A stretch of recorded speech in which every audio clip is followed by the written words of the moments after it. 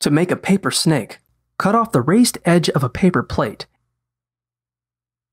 and paint the plate however you like. Next, draw a half inch spiral on the back of the plate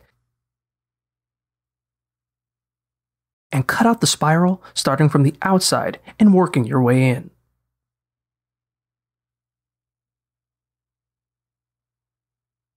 Then, paint eyes onto the front of the head, or glue on googly eyes. Lastly, cut a thin 1 to 2 inch long rectangle out of red paper and cut a V into one end to make a forked tongue. Lift the head up and glue the tongue under it.